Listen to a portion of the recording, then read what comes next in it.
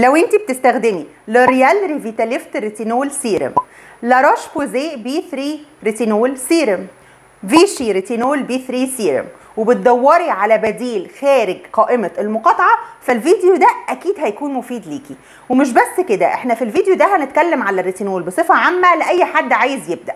وعشان يبدأ صح زي ما إحنا متفقين في سلسلة المقاطعة إحنا بنرفض دعم أي شركة بتمول الكيان الصهيوني. فبالتالي بنقول بدايل آمنة ومفيدة نقدر نستخدمها الفترة الجاية وما تضرش إخواتنا في أي حتة. فعشان ما أطولش عليكم أنا دكتور نادية اعملوا لي subscribe ويلا بينا نبدأ.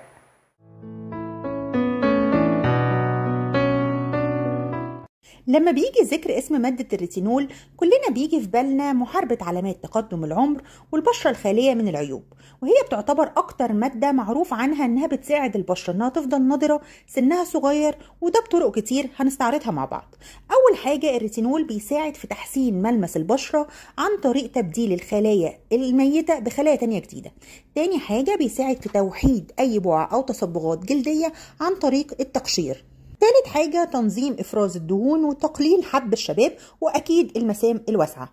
رابع حاجة إن هو بيساعد على إنتاج الكولاجين داخليا وتقليل تكسيره. فده بيساعد على تقليل علامات الوجه التعبيرية في المجمل.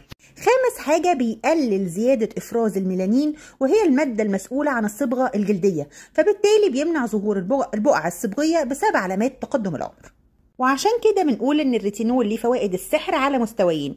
الأول في علامات التقدم العمر fine lines و wrinkles وغيرها وثانيا في علامات إصلاح البشرة فبالتالي بنقدر نستخدمه خصوصا لو إحنا سننا صغير. يعني من أول 20 سنة الريتينول بيكون مناسب للاستخدام. وعشان كده بنقول إن البشرة المعرضة للحبوب ممكن تستخدمه عادي. أهم حاجة الحبوب ما تكونش ملتهبة. وبعد ما استعرضنا أهم فوائد الريتينول خلينا نشوف مع بعض البديل اللي هنتكلم عنه النهارده.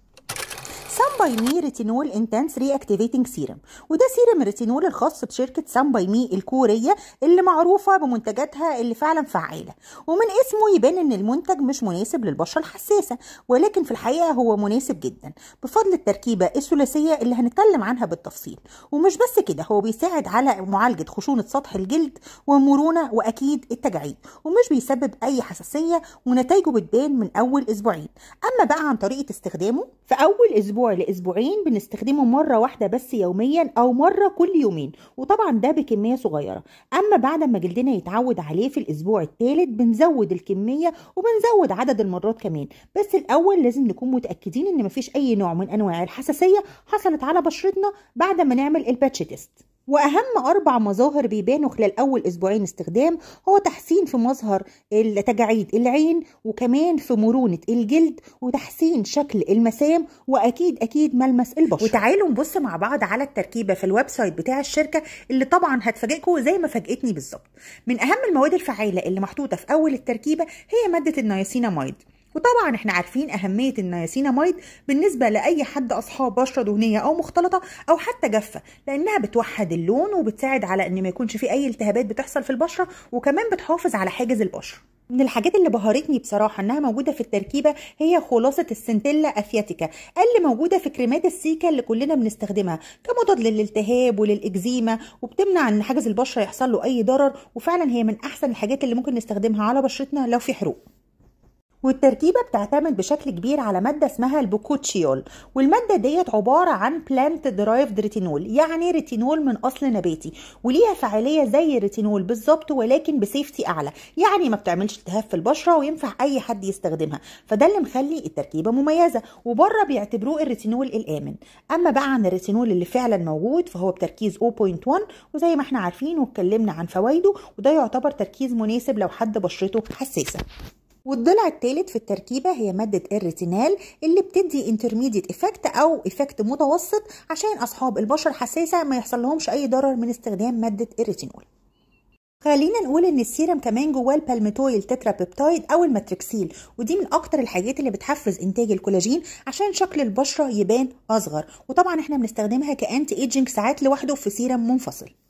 نسبة العطور فيه قليلة قوي وآمنة وطبعا هو alcohol free فخلينا نبص على أهم استخداماته هو يعتبر مضاد للحبوب عشان في مادة النياسيناميد مضاد للأكسدة عشان في ال Centella asiatica معاها الريسفيراترول ومواد كتير. تاني حاجة النياسيناميد بيحافظ على حاجز البشرة بيساعد على توحيد لون البشرة وكمان إشراقها بيساعد على ترطيب البشرة. وانتوا أكيد بتسمعوا التركيبة. سألتوا نفسكم إيه الفرق ما بين الريتينول وال retinal وليه بنستخدمهم الاتنين مع بعض. خلينا نقول ان الريتينول مش مادة فعالة نشطة والمادة الفعالة النشطة اللي جلدنا بيستفاد منها وفقا للدراسات هي ال retinoic acid. فبالتالي إحنا بنحتاج الريتينول يتحول إلى retinoic acid. فعشان الترتيب يكون مظبوط وإحنا عارفين إزاي التركيبة بتحصل خلينا نقول ان الريتينول بيتحول ل retinal وبعدين retinoic acid. فبالتالي بشرتنا لما بتمر بالمراحل ديت ما بيحصلش فيها حساسية زيادة. وخلينا نقول أهم الاحتياطات اللي بشرتنا محتاجاها عشان نستخدم الريتينول بأمان. أول حاجة إن إحنا بنستخدمه بتركيز قليل وعشان كده بقول لكم السيرم دوت تركيزاته لطيفة وما فيهوش المادة الفعالة النشطة. تاني حاجة إحنا بندخله ببطء في الروتين زي ما أنا شرحت لكم في استخدام السيرم مرة كل يومين ده أول أسبوعين وبعدين بنبدأ نزود الكمية وال interval أو عدد المرات. تالت حاجة مهمة جدا في استخدام الريتينول إن إحنا بنستخدمه بالليل. وطبعا ما ينفعش نستخدمه الصبح خالص وبنستخدمه بنستخدمه على بشرة جافة وبعدها مرطب. يعني الترتيب بتاعنا الريتينول بشرة جافة مرطب والأهم طبعا إن إحنا ما ننساش استخدام ال sunblock تاني يوم الصبح عشان نحافظ على بشرتنا وللمتابعين في مصر بالذات دايما بتسألوني نجيب المنتجات الكورية منين تكون مضمونة ومش مضروبة. هحط لكم في أول comment link ال page على الإنستجرام أنا بتعامل معاها. ناس محترمة جدا وال page بتاعتهم كويسة قوي وكمان أسعارهم هايلة. فبالتالي تقدروا تشتروا السيرم اللي إحنا لسه متكلمين عليه فيها. وغير كده كمان هيكون في منتجات منتجات روسية وكورية وحاجات كتير هنتكلم عنها الفترة الجاية وهتلاقوني دايما بحط لكم ال link بتاعت الحاجات دي تقدروا تشتروها منين؟ عشان كله يستفاد فعلا زي ما إحنا بنشرح في الحلقات.